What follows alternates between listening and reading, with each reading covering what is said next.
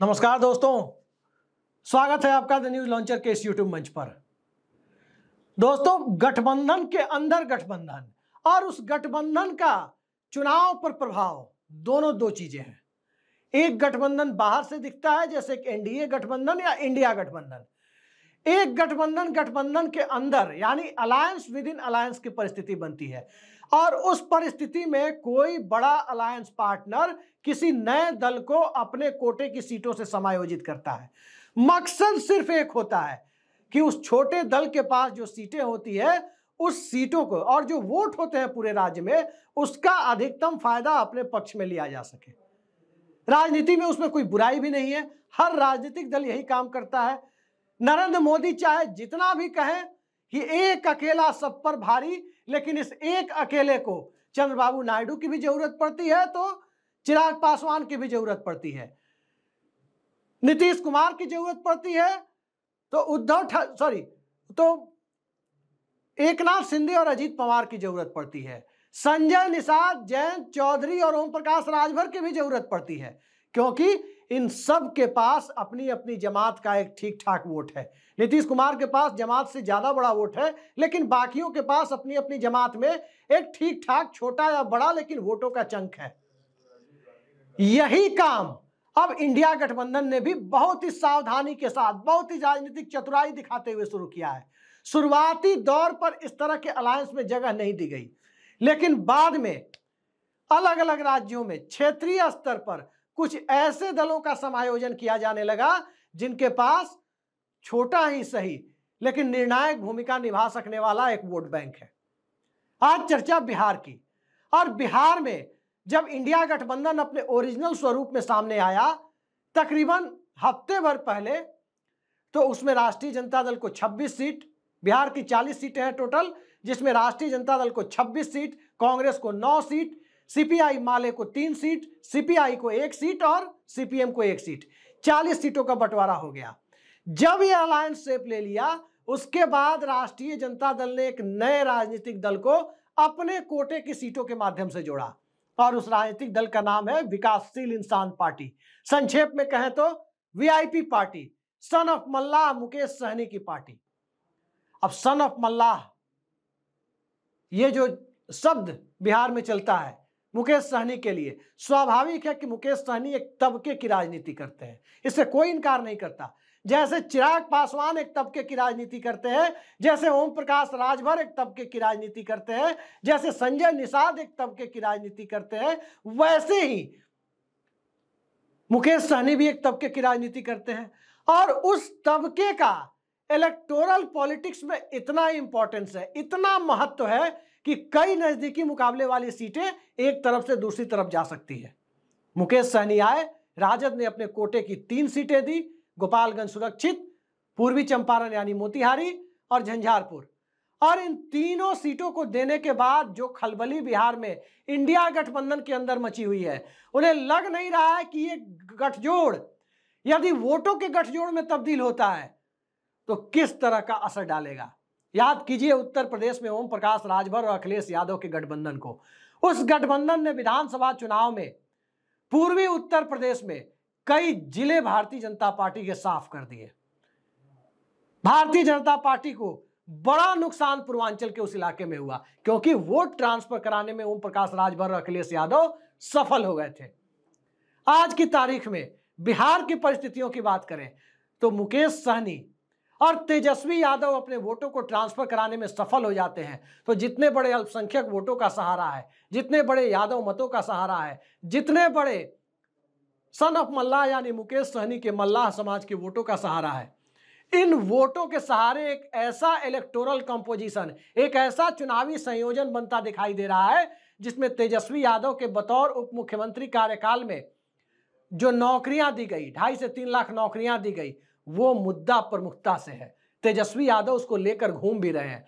माई समीकरण यानी M Y समीकरण मुस्लिम यादव समीकरण की पार्टी को अब माई बाप समीकरण भी कह, कह रहे हैं जिसमें आधी आबादी अगड़ा पिछड़ा बहुजन सबकी बात कर रहे हैं।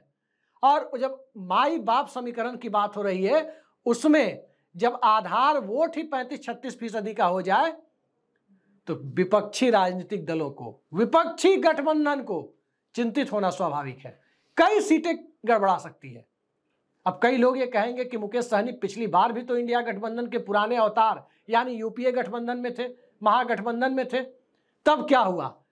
तब मुकेश सहनी निषाद वोटों पर पकड़ तो रखते थे, लेकिन निषाद वोटों के उतने बड़े नेता नहीं थे जितने बड़े नेता 2020 के विधानसभा चुनाव के बाद और उसके बाद 2021 के बोचहा उपचुनाव के नतीजे के बाद सामने आए।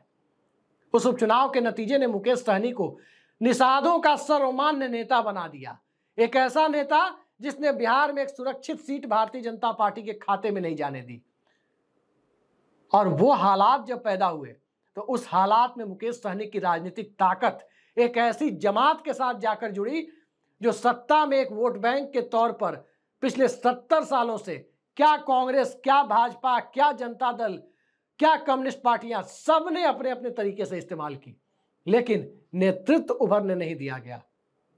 नेतृत्व उभरा और मुकेश सहनी के नेतृत्व में उभरा। आज बिहार के लगभग तीन फ़ीसदी मल्लाहों को लग रहा है कि उनका नेता मुख्यमंत्री या उप मुख्यमंत्री बन सकता है।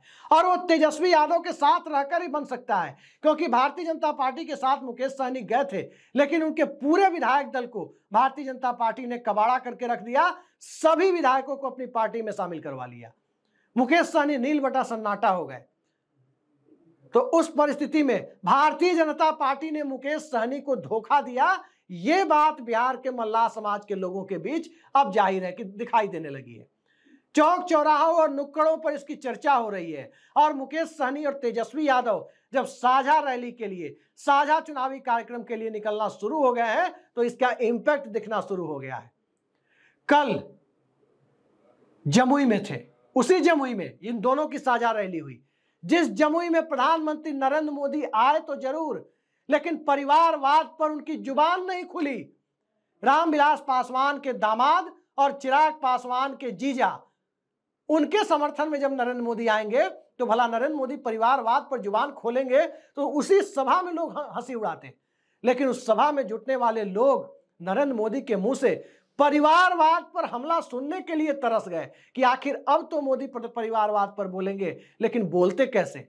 पैंतीस फ़ीसदी का अघोषित आरक्षण जो बिहार में परिवारवाद को, चुनावी आरक्षण जो दे रखा है, चालीस में चौदह सीटें एनडीए गठबंधन ने परिवारवादियों को दे रखी है। फिर विपक्ष का परिवारवाद परिवारवाद, और भाजपा का परिवारवाद, सदाचारवाद जनता इस चीज़ को समझती है। और जब जनता इस चीज़ को समझती है तो मुकेश सहनी के वोटों का, की अहमियत समझ में आती है।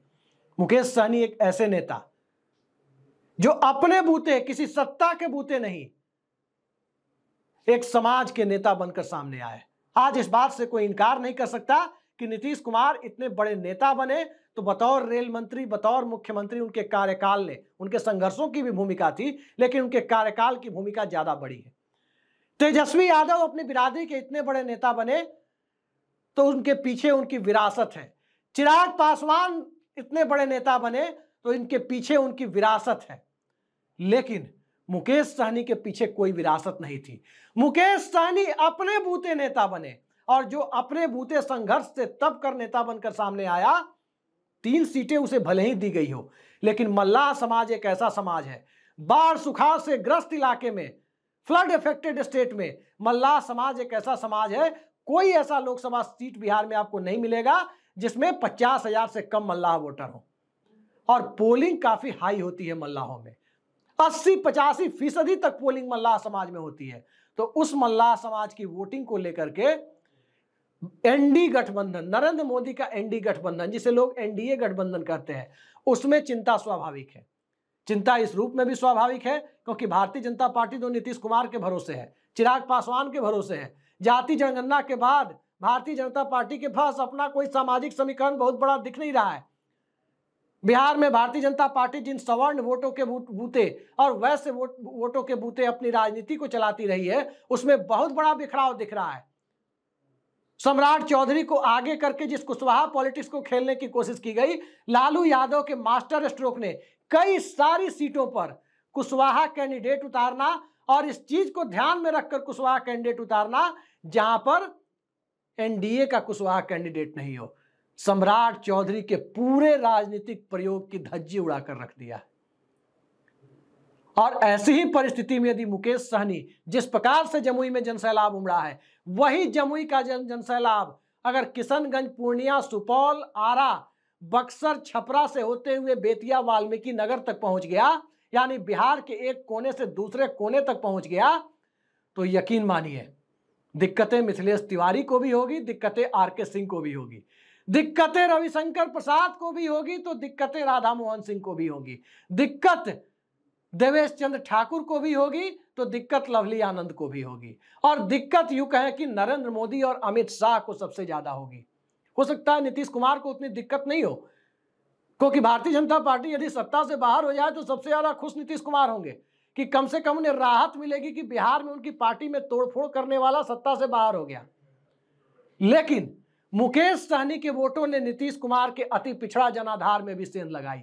अति पिछड़ी जमात खासकर बहुसंख्यक अति पिछड़ी जमात की बात करें, हिंदू अति पिछड़ी जमात की तो तकरीबन साढ़े पच्चीस फ़ीसदी के प्रति करीब है। और उसमें तीन फ़ीसदी के साथ सबसे बड़ा चंक मल्लाह समाज का है।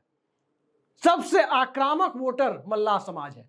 इतना बड़ा डेंट यदि एनडीए को, नीतीश कुमार, चिराग पासवान और नरेंद्र मोदी के गठबंधन को मुकेश सहनी और तेजस्वी यादव मिलकर दे रहे हैं, कांग्रेस और लेफ़्ट इन दोनों के साथ खड़े हैं तो 40 सीटों सीटों में से कितने सीटों के नतीजे सरप्राइजिंग हो गए? आज ये कहने की स्थिति में न मैं हूँ, न कोई और पत्रकार हो सकता है। इसलिए भी नहीं हो सकता, क्योंकि अब तक किसी ने निषाद समाज के वोटों को एक वोट बैंक के तौर पर देखने की कोशिश नहीं की है, लेकिन अब मुकेश सहनी ने दिखा दिया है कि एक बड़ा वोट बैंक है, इसकी अनदेखी नहीं की जा सकती। आज के लिए इतना ही। नमस्कार।